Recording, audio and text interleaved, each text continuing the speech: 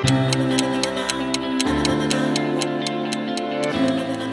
morning, friends. It's Friday, December 2nd. I'm Marv Eisen of Timeless Dollar Trading Academy, and we begin the day looking at the economic calendar. And I suggest that you always begin the day looking at the news of the on the economic calendar to see what reports are going to be coming out, what announcements are going to be coming out. Are they going to be coming out pre-market, during trading sessions? You have to know these things, and I'll go into that in a minute.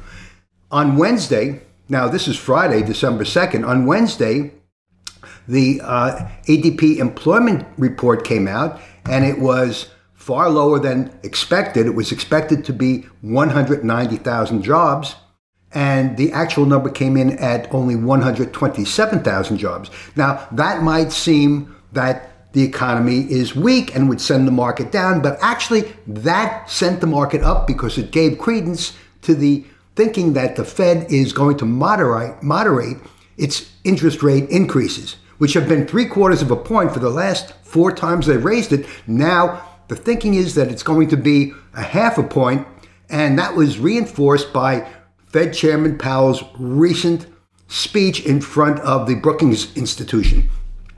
But let's fast forward to today. At 8:30 today, December 2nd, non-farm payrolls came out, and the report, the expectation was 200,000 jobs, and the actual number came in at 263,000 jobs, far higher than expected, or substantially higher than expected.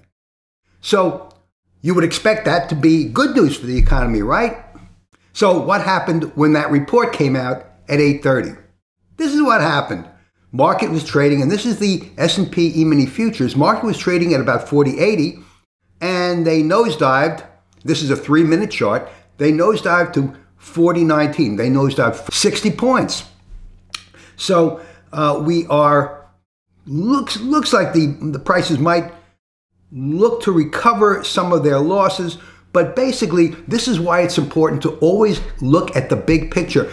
You have to know how to trade. It's true. You have to know the price setups because normal trading days are days where the market goes up and down in a in a rhythm, in a motion.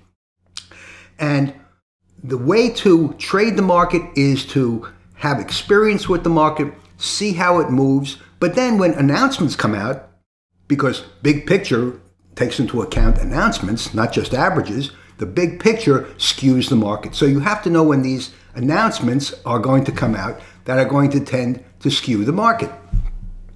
So that's my video and suggestion for today. This is Marv Eisen, the Timeless Dollar Trading Academy. If you'd like to get some insight into how to trade and improve your trading, check out my course at timelessdollar.com. Have a great day.